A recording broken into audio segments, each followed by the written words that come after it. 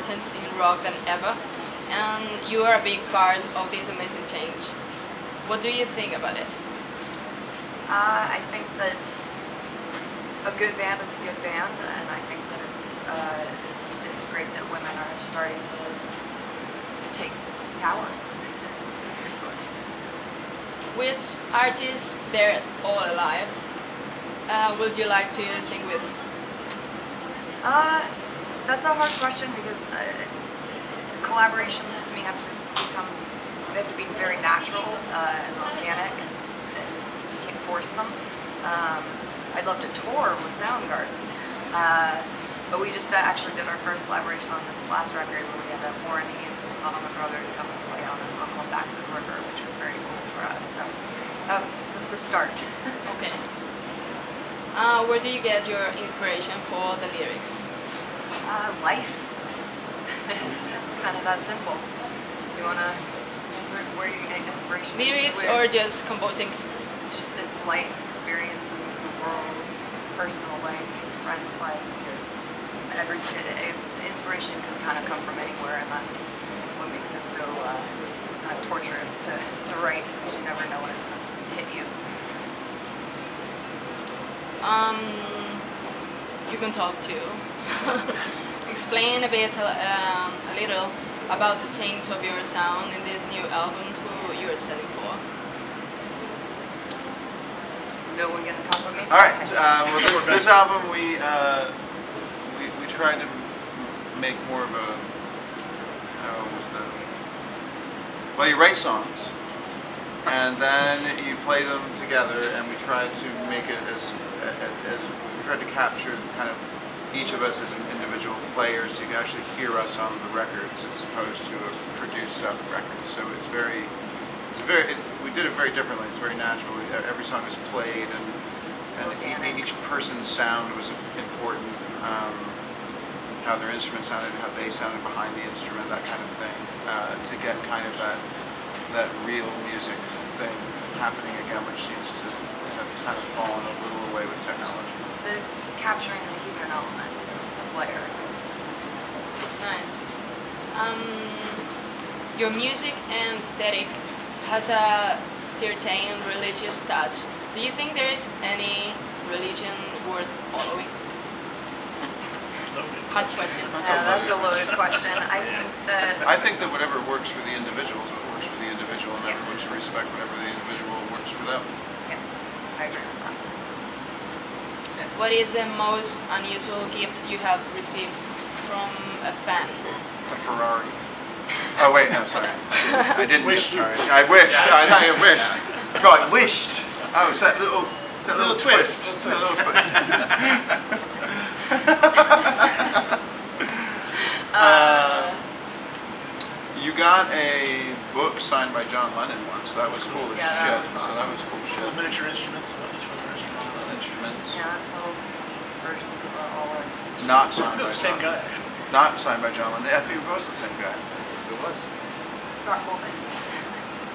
Making reference uh, to the title of the album, is there anything in the world that you desire so much that you could sell yourself for? Music. Pantene. Oh, sorry. Uh, you know you are such an icon for LGBT community. Uh, for what reason do you think is this, and how to do you feel about that? Wait, I'm just listening. Yes, you ask say, the ask the question question again. I'm sorry. Yeah, um, you know you are such an icon for Icon, L- you're icon, yeah, for LGBT. I, I don't know if uh, Yes, this yeah, is yeah, the yeah, right we know. okay Yeah. community. For what reason do you think is this? Well, just it broadens the acceptance of it. I, like I think that the world's so fucked up right now, so the fact that we have to talk that, that that's even an issue is disgusting. So no, the fact that that's even a question and, that and that there's separation at all is disturbing. Yeah. People Uh, are people. people are people. yeah. So helping promote acceptance. And love and It's peace obviously and like- all that is something that is obviously an important, integral part of our job. Could you confess us what is the worst thing you you've ever done in your life which makes you go to hell? Goes on the road. I've never done anything wrong. I'm going to heaven. I'm amazing. Everything's good. Uh, You misunderstood the question. Oh, right. Sorry. Uh, that's a good one. No, that is a good one. I'm surprised we've never been asked that one before. um, Absolutely. I mean, I'm, I would never say anything to anyone about it. Right? Yeah, Whatever you've done wrong. Whatever like- you've done wrong, it's, it's probably off, something you don't want to actually admit. Well, first of all, especially with a camera in front of you. Right, and you have to believe in it to go there. I'm not sure. I'm not sure we aren't there. Are we there? I don't know. I Some think days. Hell's all around us. Some days. sa man. tipo, Some days. Very, very existential. I hit a bird once while driving. I felt really bad about it. That Is that some word? hit a chicken. Chicken It across flew in front of the car. Just crossing the road. Try. Being hit by a van. Why is a chickadee cross the road? Get hit by a van. Yeah, second. You can have. Yeah. two more. Alright, go. Um, well, I want them to um, respond Yes. for yourself. Uh, have you ever done? Well, this is made for you because I thought that you would be alone, but Oh, okay. I, I want to ask them. Uh, have she ever done uh, something that you uh, that could make any of your bandmates uh, stop you, like a crazy thing that they have to stop you? You know? This is for you guys. She's really stopping you. No. Yeah, didn't Mark stop you from falling off a railroad? Yeah. Or sure what something? to say. Yeah, I don't think that's. I don't think that's really what. yeah. the It totally isn't. Yeah. Just throwing it. No. Taylor's pretty on point. Yeah. And did you do that for your bandmates? Stop them Yeah. from being assholes. Yeah. Obviously not. There's no, There's no- there's no stopping yeah, that. There's no stopping that. Comedy there's comes one. in many forms. Someone like you who have been in so many interviews, what would you like to be asked? That's a good question. That's a good question. Yeah. That's actually a really good question. Yeah. Hmm. I would actually have to think about that. Um,